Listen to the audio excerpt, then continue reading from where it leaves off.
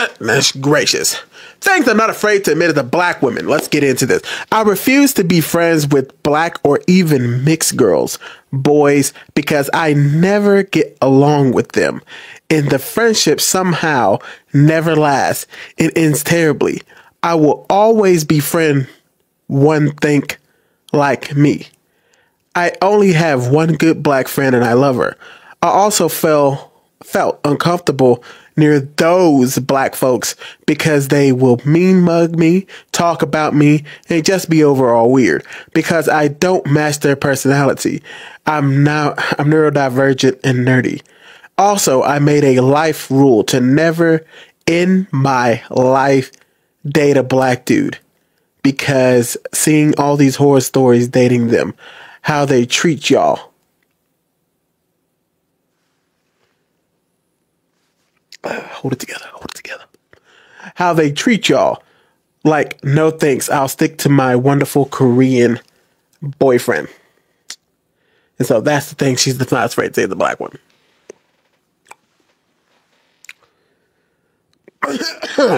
mm, okay. I can understand how you can have some kind of affinity towards black people. Here's where I start to draw the line, though.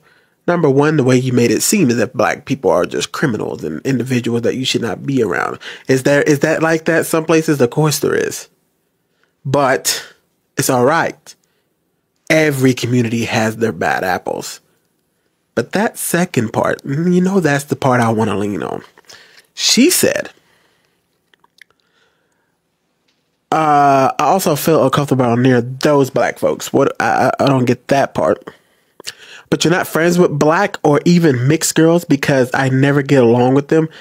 What about you? Aren't you black? Aren't you mixed? Aren't you something? I don't get that part. You you put everybody out there as if that's one community, but you exclude yourself. And then this part right here. Also, I made a life rule never in my life to date a black dude because seeing all the horror stories dating them, how they treat y'all. Ma'am, Ma'am, I'm so tired of the disrespect towards the black men. What do you mean how we treat them? Have you seen how black women treat black men? Have you? There's a new TV show that came out. Y'all watched it with me the other day. The the balloon show, the balloon pop. Shout out to that sister who's doing a great job over there on that YouTube channel. But uh, do y'all remember all the black women that were popping their balloons for a young man that was in law school because of the way he dressed? Y'all remember that? They said He's doing all this stuff, getting money. He is very intelligent. He's even in law school, but because he was soft spoken and they didn't like the way he dressed, they just rained down on him. Do you remember the other young black woman who said that she couldn't stand the way a man spoke? She said that his her, her his vocabulary wasn't high enough. I will keep mentioning this and I'll mention it forever. I made a video talking to black women asking them why do black women have a disdain for black men? And they said these exact words Niggas ain't shit. What do you mean how black women treat black men treat black women? See, what do you mean? Because the only stories you ever hear, ma'am, are from those black women who date those kind of black men and have horror stories. Because when a black woman does date a black a good black man, she just forgets that he even exists. She just goes right back to the, the bad black men that she dated. And when she says bad, that means because she was most of the time difficult to get along with, and her standards were so exceptional that she she considers him a dusty. She considers him broke. She goes right to broke boys don't deserve no pussy. I know that's right. They go right to that. And so black women have been trying to get this thing out here that the reason um, that uh, the reason that our community is failing is because black men can't get it together. We're all in jail, right? Even though 20 million black men walking around in America, 617,000 of us are incarcerated. Uh, is that the majority of us? Is 600,000 the majority of 20 million? Don't think so. Absolute lie. One in three of us black men used to be living in that incarcerated life and been in jail, but that number has dropped to one in five. Do they talk about that? Mm-mm, they don't even care about us. Oh, all black men are dead. All black men are deadbeat fathers. Uh, 54% of black men have never fathered a child. Oh, we're all out there. 62% of us out there getting 62% of us are making a certain amount of money still more than black women black men still make more than black women oh but wait black women are the most educated no they're in the most in debt black men still have more stem degrees See, y'all don't go out there and search for you. See, black women don't go out there to look to see how black men are exceeding. They don't go out there to see how black men are doing well. They immediately go to this garbage of the oh look, oh, I also made a life rule never to date a black dude because seeing all the horror stories of dating them. I want to mention this. I did reach out to this young lady to see if she wanted to have an interview. She did not respond. Fine, that's her prerogative. Don't care. So you're gonna get this video. You black women are just gonna keep talking about us if she talked about all black people, to be fair with you, but she's thinking she's gonna stick with a Korean dude, fine. You know what, guys? What have I been telling you? Date whoever you want, date whatever race you want. But why can't black women date another race without always having to put down a black man? And she said that based off the horror story, she wanted to date a black man, so she never even tried. Never even gave it a chance. You try to tell me, young lady, you never came across any good black men?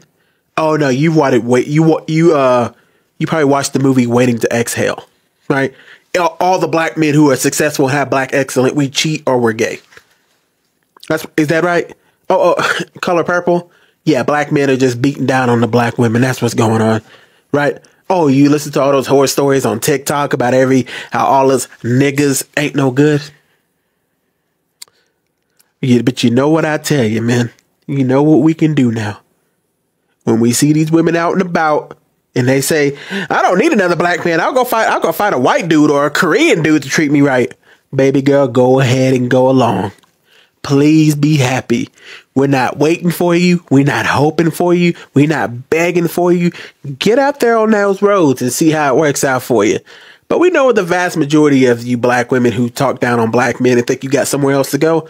Guess what? The only thing that's going to be waiting for you at home is a black dog and then you're gonna hear those trumpets.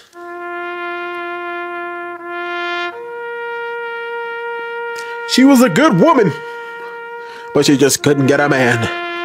But she, but when she couldn't get that man, I'm a PhD. Right back to going right back into debt to get some useless degree. Shout out to my sisters who got great degrees. But I always find it funny when y'all go out there and get those degrees and then you say, you know what? I still want a man who gets money. I still want a man who will be able to take care of me. We ain't finding enough for no money. You get second shift at the plant. You don't get that. You don't get that, madam. you don't get that. You can't have it all. None of us can have it all. You can't get out there, get your life. You can't get out there and be like, you know what? What I'm going to do is I'm going to get this education and get all this money, getting all this debt, and then a man's going to come sweep me off my feet. Baby girl, you're sadly mistaken. You're going to end up all by yourself paying all that money all alone. Y'all heard me play a song. If you watch this live, I played a song at the beginning of the uh, thing. Right? It's kind of a it's a great song, but it is kind of a play on words too. Let me just play a quick snippet of it. I'm gonna live like there's no tomorrow. I'm gonna say goodbye to the sorrow. And there ain't no way I'm gonna run, no. Cause I'm a Superman. It's funny because that's what women want us to be a Superman. They want us to have great sex. They want us to make a ton of money. They want us to be aggressive while also being soft. They want us to be hardworking while also give them attention. They also want us to be in great shape, but not too great a shape. They want us to make enough money to be able to do whatever they want, but their money is their money. They want us to make all the money to try to build an empire while their money just goes towards luxury stuff. Just so they can brag to all their other girlfriends how much money they got. Or go on there and talk about being a boss chick. And us men have to do all the romances. We have to buy them a car on Valentine's Day, buy them a car on their birthday, and then buy them another car on Christmas. And then next year we have to buy them a house on Valentine's Day, a house on their birthday, a house on Christmas, and we got to go to Paris for the 4th of July. But once again, fellas, don't bother yourself with these ladies. Don't bother yourself with them. They, think us, but they think we're trash. Fine. They think that we give all these horrible stories. Fine. They think we're at the bottom. Cool. Let them live. Black men, we have been seeing an increase in so many places. Black men, we have been seeing an increase in income, lower incarceration. We are not babying all these babies. They say that we are. We are doing much better as a collective. Do we still got a ways to go? Of course we do. But we are taking steps and we are not going to be stopped because some black women say that we're not as good as another race of men, whatever race they want to choose. I don't care. Black men, we're going to keep going forward. We're going to keep teaching each other. We're going to keep showing each other black excellence and what it means to act in accordingly. So black men, just keep doing what you're doing. Don't worry about these black women out here who look like this okay, and telling us that we're scrubs, okay? Don't worry about these black women. Just let them go out there and live. This is the same woman who identifies, says things I'm not afraid to admit as a black woman that she won't even hang out with other black women. You know, I always find that so funny too. Black women talk about the sisterhood. The sisterhood, we're all together. And then you hear black women talk shit about other black women all the time. It is it's disgusting. Crabs in a barrel. And for those people who don't understand, I love to explain it because I don't understand if I just say crabs in a barrel. I don't want to make people uh, not understand. Crabs in a barrel. When you put crabs in a barrel, no crabs get out of that barrel. You know why crabs don't get out of that barrel? Because other crabs pull other crabs down. They would rather, and when you put crabs in a barrel, they would rather all die than let it than be able to get out. Because anytime a crab starts to get out, another crab pulls them down. But that's okay for the black men who made it out of that barrel, let those crabs keep fighting each other. These black women, crabs. Anyway, I'm gone. Peace.